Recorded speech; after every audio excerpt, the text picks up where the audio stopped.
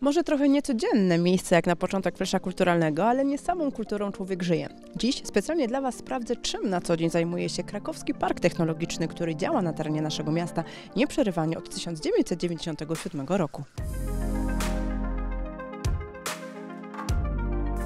My lubimy o sobie mówić, że jesteśmy takim one-stop shop, czyli e, instytucją, która w kompleksowy sposób e, wspiera firmy.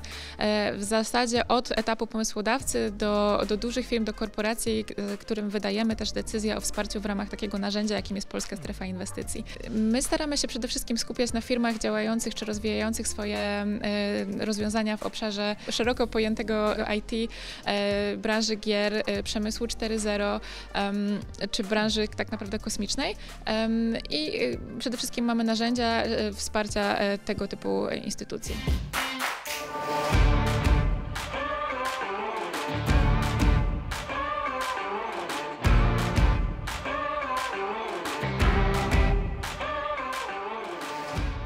Po wakacyjnej przerwie wracamy do mojego osobiście ulubionego cyklu, czyli do sportowego Krakowa. Tym razem sprawdzimy, czy Kraków jest miastem dla osób, które lubią uprawiać zapasy. Jest ze mną Michał Sobolewski z Zarządu Infrastruktury Sportowej w Krakowie. Cześć Michał. Cześć. Michał, powiedz mi proszę, jak wygląda ta dyscyplina na sportowej mapie naszego miasta?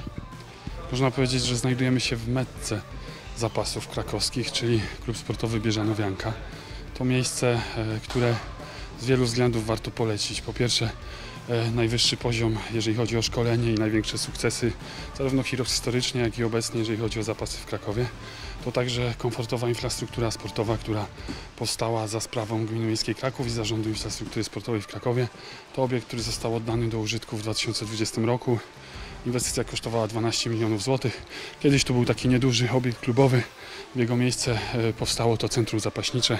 Tak naprawdę trzykondygnacyjny obiekt, gdzie nie tylko mamy jedno piętro stricte dla zapaśników, tu jest także siłownia, strefa spa, strefa fitness, e, całe zaplecze dla sekcji piłkarskiej, która także w klubie funkcjonuje. Także świetne warunki do rozwoju, świetni trenerzy jak możemy się dzisiaj sami przekonać, e, bardzo fajna zabawa. A ja zaraz sprawdzę, od czego zacząć, żeby zacząć to trenować i już Wam mogę zdradzić, że rozgrzewki bywają naprawdę hardkorowe.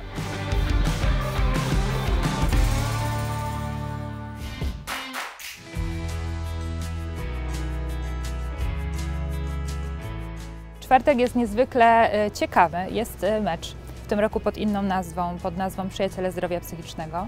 E, w tym roku odbędzie się w takim systemie turniejowym. Mamy cztery drużyny. W hali Stulecia Krakowi o godzinie 11. Wstęp wolny serdecznie zapraszamy. Natomiast kolejnym takim mam wrażenie takim flagowym wydarzeniem Human Weeku jest szkoła dla rodziców. To Coś, co powstało na skutek e, odbierania setek telefonów od sfrustrowanych rodziców, nastolatków, dzieci, e, które już wymagają pomocy tak naprawdę psychologicznej i psychiatrycznej, gdzie już dzieje się coś złego. To na tej szkole dla rodziców e, psychiatra, doktor habilitowany nauk medycznych Maciej Pilecki wraz ze współpracującą psycholog panią Agą Szczypior-Bulandą przedstawią na przykładzie Śnieżki, we współpracy z artystami Teatru Groteska. Na co zwrócić uwagę? Na zakończenie Human Weeku 13 października na godzinę 20.30 zapraszamy do Pałacu Potockich na kameralny solowy koncert młodego artysty Dawida Tyszkowskiego.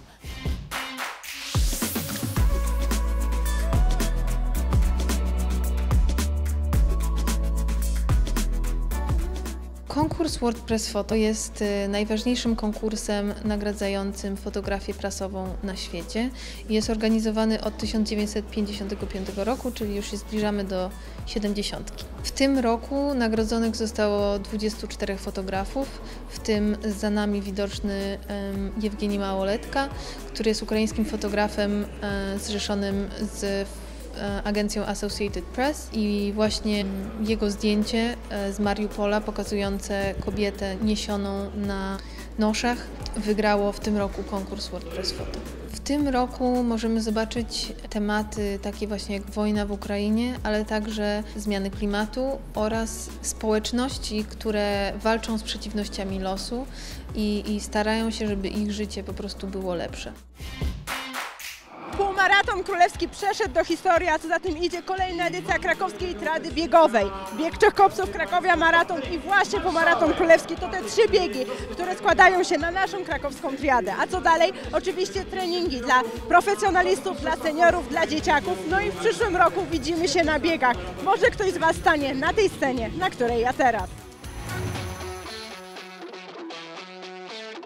Trzeba jak najszybciej się do nas zgłosić, najlepiej już w najbliższą sobotę pod sklep y, biegacza na krakowskich Błoniach, gdzie organizujemy treningi z wykwalifikowaną kadrą tre- trenerską. Ważne, ja chciałam podkreślić, że kadra trenerska jest i męska, i żeńska, więc bardzo mi zależy, żeby jak najwięcej kobiet przychodziło do nas na treningi i rozpoczynało swoją przygodę z długimi dystansami, bo o ile do krótkich dystansów nie musimy e, pań namawiać, e, bo tutaj jest e, bardzo podobna frekwencja, o tyle bardzo nam zależy, żeby frekwencja w tych biegach długodystansowych rosła.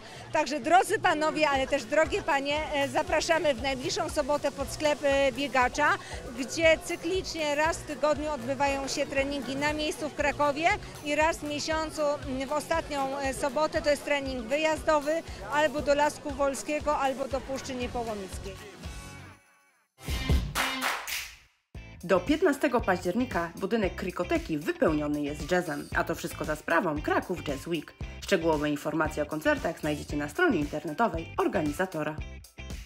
Do 22 października trwa Festiwal Młodych Twórców Fotografia. To kolejne wydarzenie realizowane w ramach miejskiego programu Młody Kraków 2.0. Studio Teatru Muzyki i Tańca zaprasza na musical pod tytułem Showman. Historia opowiada o życiu człowieka, który od dziecka wierzył w marzenia i z czasem zaczął je realizować. Wydarzenie odbędzie się 13 października w Centrum Kultury imienia Świętej Jadwigi w Krakowie.